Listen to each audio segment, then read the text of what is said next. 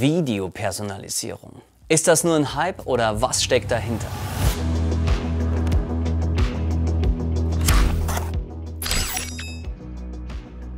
Wovon sprechen wir eigentlich im Detail? Videopersonalisierung bedeutet, dass ein Film mittels einer Anbindung an ein CRM-System, zum Beispiel an eine Datenbank oder auch an eine Excel-Liste automatisiert individualisiert, also personalisiert wird. Zum Beispiel, indem mal ganz einfach gesagt der Name im Video ausgetauscht wird und dann heißt es plötzlich, hey Andy, ich habe hier einen coolen Film für dich, schau ihn dir an. Es gibt aber auch hier verschiedene Unterschiede. Zum einen eben können Texte im Film ausgetauscht werden, zum anderen aber auch können ganze Bausteine im Film verändert werden. Zum Beispiel, wenn ich in meiner Datenbank drinstehen habe, der Andi, der liebt Horrorfilme oder der liebt Comedy oder der liebt Actionfilme, kann ich abhängig von dieser Information das dem Video-Rendering-System übermitteln und das Video komplett inhaltlich umstellen. Gleichzeitig ist es auch so, mittels der ganzen KI und den ganzen AI-Trends ist es so, dass immer mehr verändert werden kann. Also Text-to-Speech zum Beispiel, dass automatisch ein Text erstellt wird, ist etwas, was mehr und mehr in personalisierten Videos Einzug findet und vor allem auch Einzug finden wird. Also zum Beispiel, dass ich sage, der Andi hat heute um 14 Uhr bei schönem Wetter dieses Video angeklickt und jetzt erstelle ich ihm das personalisierte Video ähm, und abhängig davon bekommt diese, zieht diese Information der Chatbot und erstellt einen Text, der passend zur Uhrzeit, zum Tag ist und mir etwas zurückspielt, was für mich eine sehr, sehr hohe Relevanz hat. Videopersonalisierung ist also etwas, das eh gerade erwähnt, das die Relevanz erhöht, die Watch-Through-Rate, also wie lange die Zielgruppe das Video anschaut, deutlich steigert und vor allem im Vergleich zu einer One-to-Many, eine One-to-One-Communication im Bereich Video ist. Des Weiteren gibt es zwei Arten von Videopersonalisierung, die ich nochmal besprechen möchte. Das eine ist, dass Videos wirklich live personalisiert werden, also durch einen Trigger. Das kann bedeuten, dass ich zum Beispiel ein Formular ausfülle, zack, bekomme ich ein personalisiertes Video zurück. Oder zum Beispiel, ähm, es wird ein Trigger erstellt, ich bewerbe mich irgendwo und einen Tag später oder ähnliches bekomme ich ein personalisiertes Video oder eine gesamte Journey in personalisierter Form. Das ist die eine Art der Personalisierung. Die andere ist zum Beispiel, und das nenne ich persönlich eher Video Automation, das bedeutet, dass man anhand einer Datenbank viele Videos automatisiert, personalisiert erstellt, aber das nicht on demand macht, sondern im Vorhinein. Ich gehe zum Beispiel her und sage, ich möchte eine Kampagne ausspielen in allen Großstädten in Deutschland mit über 5000 Einwohnern und habe dann eine Liste an mehreren tausend Datensätzen und anhand von diesen erstelle ich dann, sage ich mal als Beispiel jetzt 50.000 Videos, die alle eben personalisiert sind auf die Stadt, auf die Region und dann in eine weitere Kampagne fließen. Beides basiert auf einer ähnlichen Technik, wie zum Beispiel bei uns auf dem Videogenerierungssystem, das einfach mittels API, also einer Schnittstelle angebunden werden kann und dann diese ganzen Videos vollautomatisiert erstellt. Ich persönlich bin der Meinung, dass Videopersonalisierung auch ganz klar die Zukunft des Internets ist. Unser Netz wird voller mit Medien. Denk an TikTok, YouTube, Facebook und Co. Überall sind Videos der wichtigste Content. Millionen von Menschen laden jeden Tag Videos hoch. Und es wird immer schwieriger, vor allem auch in der Unternehmenskommunikation, klarzustellen, dass der Inhalt, den ich gerade dir bereitstelle, lieber User, dass der für dich relevant ist. Also Relevanz wird immer wichtiger. Und gleichzeitig ist es auch so für uns als Nutzer.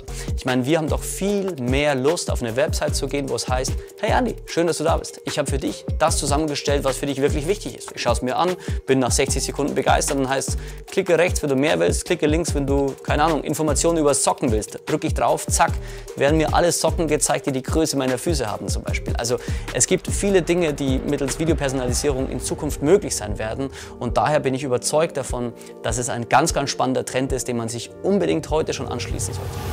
Deshalb auch von mir drei Tipps im Bereich Videopersonalisierung und wie du dich darauf vorbereiten solltest. Erstens, fang klein an. Videopersonalisierung kann eben extrem einfach sein, indem ich nur eine Information nehme, wie zum Beispiel den Vornamen und diesen automatisiert oder Vor- und Nachname und diesen automatisiert in ein Video hineinpacke. Zum Beispiel über die Bewerber-Journey, indem ich sage, hey Bernhard, schön, dass du dich beworben hast, wir melden uns in acht Tagen bei dir, bei uns läuft es so und so ab, wir schicken dir ganz liebe Grüße und bis bald.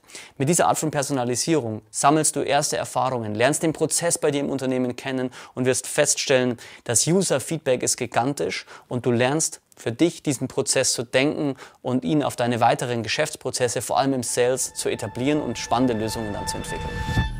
Zweitens, rolle Personalisierung wirklich auch auf alle im Unternehmen aus. Also wenn wir mal zum Beispiel vom Sales ausgehen, versuch nicht ein in sich geschlossenes System zu bauen, das nur in einem Sales-Prozess funktioniert, sondern wenn du zum Beispiel mehrere Standorte hast, mehrere Mitarbeitende, die auch Sales betreiben, versuch wirklich jedem die Möglichkeit zu geben, personalisierte Videos zu erstellen. Dadurch hast du erstens große Synergieeffekte, das gesamte Team lernt das Themenfeld Videopersonalisierung kennen, verschiedene Kundinnen feedbacken dir diesen Use Case und du wirst sehen, die Ideen sprudeln und wachsen und vor allem der Grund, warum man ja Videopersonalisierung macht, ist, weil man gewisse Prozesse automatisieren möchte. Also man möchte ein gewisses, nennen wir es mal, Sales-Vorgespräch automatisiert, personalisiert anbieten, also so, dass es so ist, dass der Kunde sagt, geil, ich fühle mich schon perfekt abgeholt und gut informiert. Oder auch im HR, wie ich vorher schon gesagt habe, ich bekomme ein Video, denke mir, hey, die sind voll nett, die haben mir gesagt, wie das abläuft, jetzt weiß ich, wie es weitergeht.